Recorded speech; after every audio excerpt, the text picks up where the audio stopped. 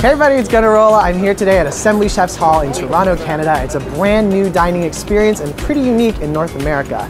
It's perfect if you're like me and you just want to eat all the things. You'll find them here. Let's check it out. Assembly Chef's Hall is a new concept in downtown Toronto where you can experience global cuisine from 17 of Toronto's top chefs. So I'm here with Andreas, the mastermind behind Assembly Chefs Hall. I'm walking into this space. It's unlike anything I've experienced in Toronto. It's not a food court, it's not a market. What is this? So uh, the Chef's Hall uh, is a chef service restaurant uh, where you transact directly with best-in-class chefs from across the city in each of their categories. So from barbecue uh, to Thai to standing omakase to vegan, there's something for everyone within the space. Uh, and you as a customer can engage and interact directly with 17 of Toronto's best chefs who've each designed and built their own restaurants within the incubator space. For someone like me who can be very indecisive when it comes to what to eat, I can just walk around and get inspired. You can do that, and sometimes you're dining out with someone else that you can never agree on on what to have.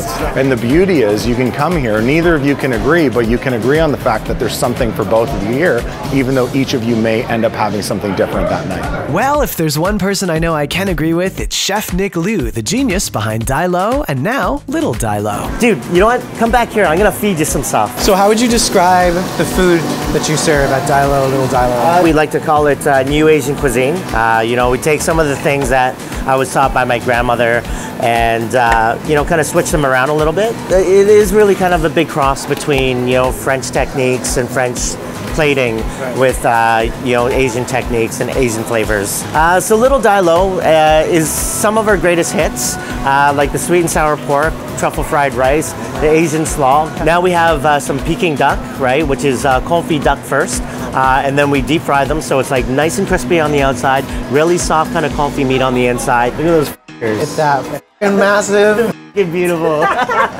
so this is what you call the Dai-Lo platter. It's everything that we do here at Little Dai-Lo. This is my lunch and my dinner. Dai-Lo. okay, so many different scents. I can smell the truffle, the sweet yeah. and sour. We got this deep fried amazingness. Where do you begin eating this? Um, I would probably start with uh, with taking the meat off the duck wing, okay. right? Oh, right? it just peels that, right yeah, off like that. just kind of falls right off. So you get your pancake. We'll take some of the uh, cucumber salad. I'm gonna go ahead, first bite.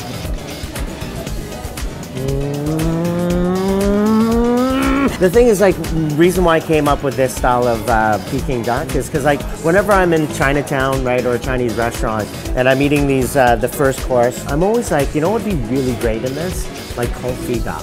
So, because, like,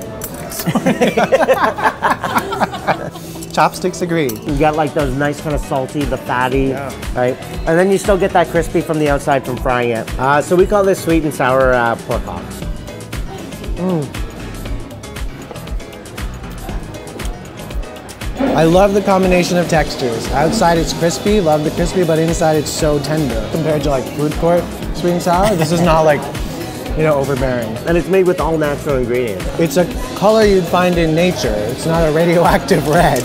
Next to Little Dai-Lo, you'll find Boemo by chef Ivana Raca and Chopped Canada's Brad Smith. Boemo, we just thought bohemian vibes, free spirit, that's what we are. We don't want to put ourselves in a box and, and, say we do Italian or French food or this and that. Like we say, our motto is we cook whatever the we want. Essentially, that, that's what made me fall in love with Ivana's food was um, you can ask her to do anything. And the first time she's going to make it, it's going to be epic.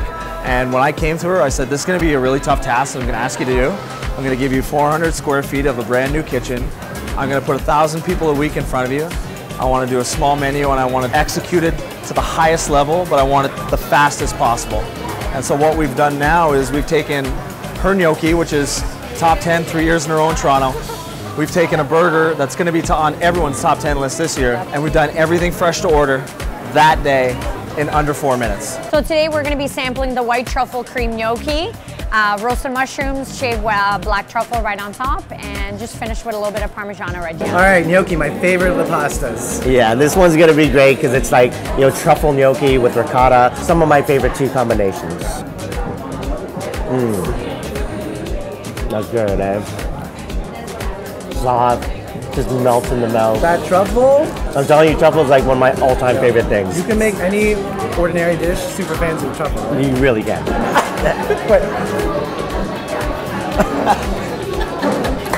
it's love. as well. Our next stop is Tachi, Canada's first stand up sushi shop specializing in an omakase experience that's limited to 8 spots and 30 minutes. For this traditional experience, the sushi chef decides which items you eat. Omakase basically is trust. You trust the chef, whatever that he gives out to you to eat. Seeing the customer eating the sushi right away and enjoying it, having a smile on their face, I think is most satisfying thing for a chef. I believe we're different because we really, really emphasize on how we season and cook the rice. The rice is very important. It's kind of like no one really wants to eat some soggy pasta. Doesn't matter how good the sauce is. I'll leave it there. Yeah, so in my opinion, like Jackie does some of the best rice in, in Toronto, like, and that's why sushi is so good because it's really all about the rice. And isn't that beautiful? I mean, it's like art, right? 'Cause it's like it's glistening, it's beautiful, and I mean the way he makes it as well. I, you know, I think I think anybody can enjoy this, right? You put it in your mouth, everything kind of speaks for itself. Well, I think too in North America we're so used to like, oh, you can eat sushi, and I just need to cram all this stuff in my mouth, right? Which is, I mean, which is ridiculous, right? Because I mean, they're not using good quality products, right? And I think people that come here will actually, they'll know the difference, like automatically. Just- mm. Haven't had real sushi in Toronto till today. I've never had it. so good. Next on today's menu is Cherry Street Barbecue, specializing in pit smoked meats, drawing on a variety of regional styles and influences, and they've perfected their techniques, so don't expect to need a lot of extra sauce. We do traditional Texas style, Southern style barbecue, all cooked on wood, no gas, no electric. Today we're gonna taste the menu. I'm not gonna cheat you. I want you guys to eat it all. So we'll put a nice little platter together for you. It'll consist of our baby backs, our sides, uh, some turkey, brisket, little pulled pork, and you definitely gotta try the beans because people can't stop talking about them. Oh God, it's so good. Jesus Christ. It's perfect. The texture, the tenderness is perfect. The taste is perfect. It's not too like messy. I hate when uh, you know you get meat and it's just covered in sauce. Eat some of that. And you right? Got rub. What the hell? These beans though. All right, I think that means it's time for dessert. We're heading over to Short and Sweet Bake Shop where you'll find delicious takes on your favorite homemade classics, made from scratch every morning using only the finest ingredients. We are a nut-free bake shop, so no nut products, uh, peanuts, tree nuts, all that stuff. We bake from scratch, fresh, every day. Uh, for this location, we deliver here multiple times a day. We are the only bake shop at Assembly. We're, for the most part, the only dessert spot here. Um, so yeah, you can expect some really, really fun, cool stuff from us. Today we're gonna try uh, two different Sammys and a cupcake flavor. So Okay, love s'mores. Cheers. Cheers, man. Yeah, nothing wrong with that.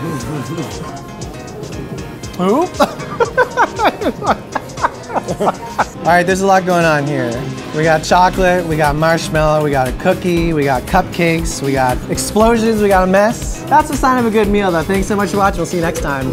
Hasta la próxima. That's just a first taste of some of the many different options you can try at Assembly Chef's Hall. Thanks for watching. Don't forget to subscribe and like Gunnarolla for more food and travel recommendations. À la prochaine!